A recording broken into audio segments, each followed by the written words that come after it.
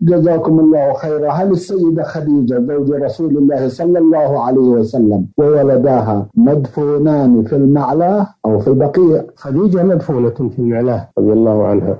أما أنه دفن معها أحد من أولادها فلا أعلم ذلك. أما هي رضي الله عنها قد توفيت قبل الهجرة ودفنت في المعلات ولا يعني هذا أن أن يتبرك بالمقبرة أو أن يفعل عندها ما يفعله الجهال أو المغرضون من دعاء الأموات والتبرك بالقبور. وإنما تزار للسلام عليها كغيرها من القبور. السلام عليها والدعاء والدعاء لها والاعتبار بأحوال الموتى. هذه هي الزيارة الشرعية لقبر خديجة ولغيره من القبور. نعم.